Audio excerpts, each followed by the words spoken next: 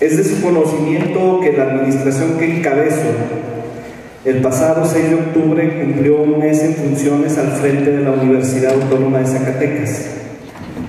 pero que desde que recibimos la constancia de mayoría en el mes de mayo de este año,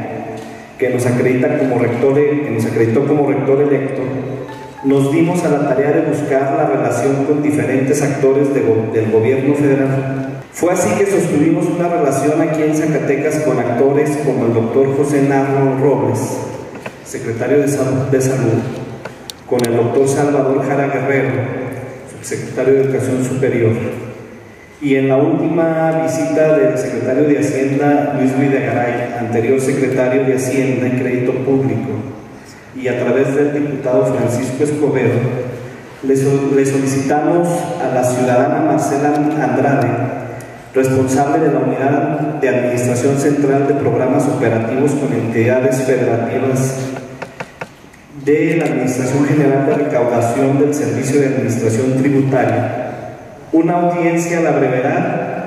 para que se nos informara de la situación que, que guardaba nuestra institución con la Secretaría de Hacienda en relación con nuestras obligaciones tributarias. En lugar de la audiencia que habíamos solicitado, la semana pasada se nos informa por la Secretaría de Finanzas del Gobierno del Estado de Zacatecas la intención de retenernos las participaciones federales por el adeudo en el pago de las obligaciones tributarias que tiene la universidad del 2015 y del 2016. Ante esta posible situación de retención de las participaciones que pondrían a la universidad en una crisis financiera de dimensiones desproporcionadas y ante la negativa de la audiencia por los responsables de Hacienda, interpusimos una demanda de amparo ante el juzgado segundo de distrito en el estado de Zacatecas, quien el 7 de octubre pasado nos concedió la suspensión provisional para que Hacienda no ejecutara la retención Cabe aclarar que acudimos al amparo ante la negativa de la audiencia, ante la, ante la negativa de ser escuchados y ante la negativa de permitirnos hacer una propuesta para cumplir con nuestras obligaciones.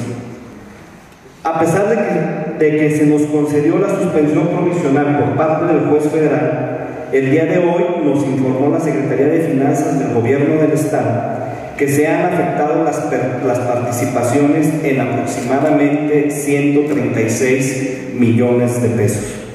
por lo que nos deja en la inoperancia total para cumplir con las obligaciones con ambos sindicatos en esta primera quincena de octubre. Se ha dado una afectación que pone a la universidad en una situación de ingobernabilidad, que va a generar no solamente el paro de labores, que va a generar el no pago de salarios de cerca de 5.000 familias que dependen de la institución y que va a generar una ingobernabilidad en todo el estado de Zacatecas por la afectación al subsidio ya que esta universidad contribuye con su erogación mensual a la economía de los zacatecanos en más de 100 millones de pesos por mes. Hago un llamado a todos los universitarios del pueblo de Zacatecas en general para que estén al tanto,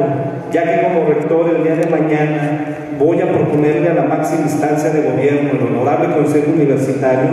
nos, traslademos de manera inmediata a la Ciudad de México y le exijamos al titular de la Secretaría de Hacienda y Crédito Público una audiencia para exigir un trato correcto y digno para la Universidad Autónoma de Zacatecas y para los zacatecanos. Que quede claro, Nunca nos hemos negado a cumplir con nuestras obligaciones y nunca nos negaremos a pagar nuestras deudas. Lo único que queremos y pedimos es el tiempo pertinente para hacer un planteamiento serio y responsable.